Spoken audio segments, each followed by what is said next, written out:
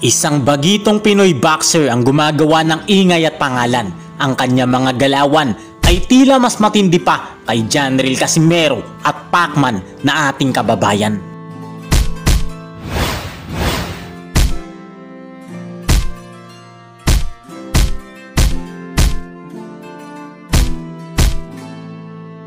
Sa tindi ng kanyang kamao mga kaibigan, ang kanyang nakalaban na isang knockout artist ng Thailand ay kanyang pinatumba, tinapos sa loob ng limang segundo lamang. Sino ang bagitong Pinoy boxer na ito na nagpaiyak kay Marcos Maidana, tinapos ang knockout artist ng Thailand at paano niya brutal na tinapos ang mga dayuhan na kanyang nakalaban? Yan ang ating pag-uusapan.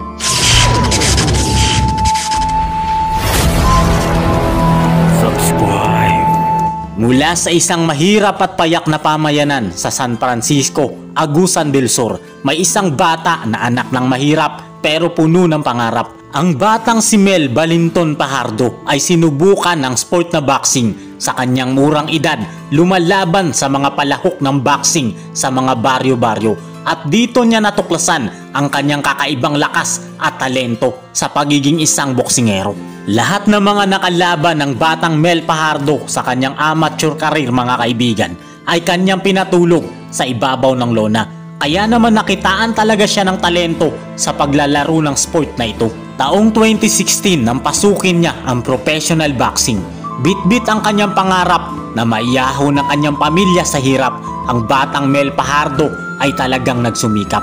Sampu sa kanyang panalo, siyam dito ang mga kalaban ay kanyang tinapos sa pamamagitan ng KO.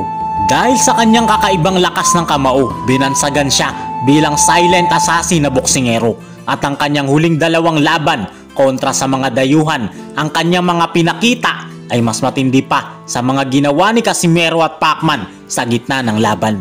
Araw ng Sabado, March 26 taong 2022, Dumayo ang ating kababayan na si Mel Pahardo sa Duty Free Tennis Stadium, United Arab Emirates para harapin ang pambato ng Argentina at ang pinagmamalaking bata ni Maidana ang walang talo at undefeated na si Agustin Mauro Gauto. Labing pitong sunod-sunod na panalo ang kanyang ginawa kaya naman siya talaga ang crowd favorite at ang susunod na muka ng boxing sa bansang Argentina Superstar in the making ang boksingerong ito mga kaibigan. Samantalang ang ating kababayan ay may pitong panalo lamang, isang talo, dalawang tabla sa laban. Kaya naman underdog talaga siya sa kanilang bakbakan. Pero ang hindi alam ng karamihan na nanonood ng live sa laban ay gugulatin ng ating kababayan ang ipinagmamalaking undefeated na boksingero ng Argentina na bata ni Maidana dahil dalawang round lang ang itatagal nito sa kanilang bakbakan. Round number 1 mabibigat agad ang palitan ng dalawang boksingero. Lamang naman sa tangkad ang Argentina na kalaban ng ating pambato.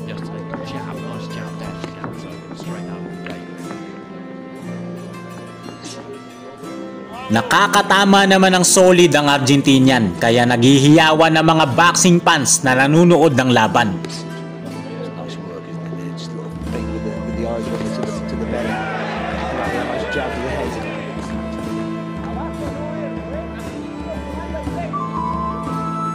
Pero hindi basta-basta nagpadaig dito ang ating kababayan at ito ay nag-iingat din sa laban. Nagsimula na magpakawala ng mga solidong kamao ang ating pambato. Sunod-sunod ang mga birada nito na puro power shot na nagpayupi sa katawan ng kalaban na boksingero. Kaya napayakap na lang ito sa ating pambato.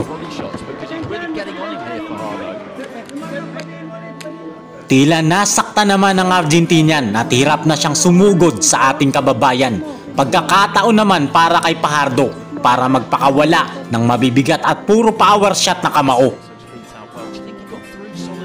Yeah, it body is, yeah, it yes. Particularly the second one for me. He's just gone into his shell a bit, hasn't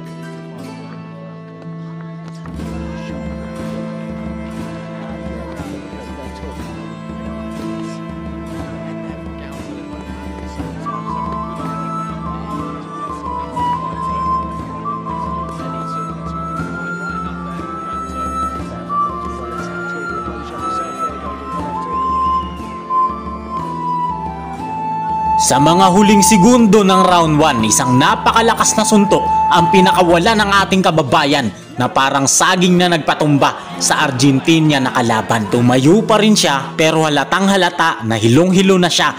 Binilangan siya ng referee tapos na sana ang laban. Kaya lang save by the bell pa ang undefeated na Argentinian.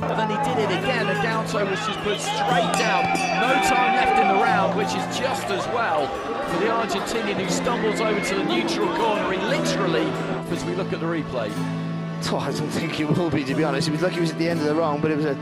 He, doubled up that left hook, lovely, didn't he, for Halo early in the fight? Just catches him flush, really did like really, really right on the butt. Oh, there's Sa round number 2, agad nagpakawala ng mabibigat na suntok si Pahardo. Balak pang yumakap ng kalaban kaya diniinan siya ng ating kababayan dahilan upang mapaluhod ito sa kanilang laban. Napakagandang palitan ng suntok ng dalawang boksingero pero ang napakalakas na kamao ng ating pambato ang nanaig sa laban na ito. Bagsak muli ang Argentinian na kalaban nito.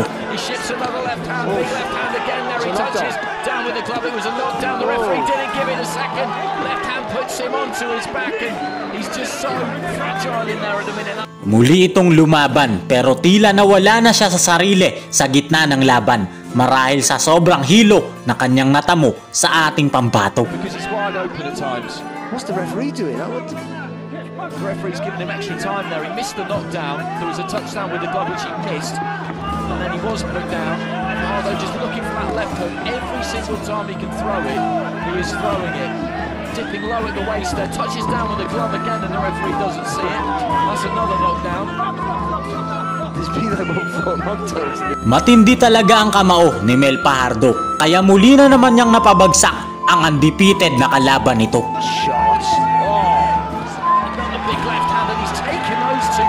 Lumaban pa rin ito kaya lang wala na talaga siyang pag-asa dahil hindi na niya kayang depensahan ang kanyang sarili sa laban nila kaya itinigil na ng referee ang laban nila. Panalo po ang ating kababayan via second round TKO mga kaibigan. In when he needed to. I don't think the corner were going to do it, and that is a massive, massive win for Miguel. Fajardo. And what December 28, 2022, muling dumayo si Mel Pajardo na ating kababayan sa Space Plus Bangkok, Thailand para harapin ang ipinagmamalaki nilang pambato na si Sarawut Jamtong, isang knockout artist ng bansang Thailand. Pero ang hindi nila alam mga kaibigan, ang ipinagmamalaki nilang boksingero ay limang segundo lang po ang itatagal sa ating kababayan. Sa round number 1, ang pinakaunang suntok na lalapat sa mukha ng kalaban ay siyang tatapos sa kanilang bakbakan. Halos hindi na ito nakatayo sa tindi ng kamao na kanyang natamo. Limang segundo lamang ang itinagal nito sa ating pambato. Ngayon ang ating pambato na si Mel Pajardo ay gumawa ng ingay at pangalan sa sport na boxing. Kinakausap na po siya ng malalaking promotion dahil nakikita nila ang talento at potensyal ng ating pambato na balang araw ay magiging world champion din natin ito. Ang pangarap na makaahon sa hirap ay sinasamahan ng dasal at pagsusumikap ang Diyos ay mabuti, ibibigay sa iyo ang mga bagay na gusto mo basta't ipagdasal at pagsumikapan mo ito. Amen.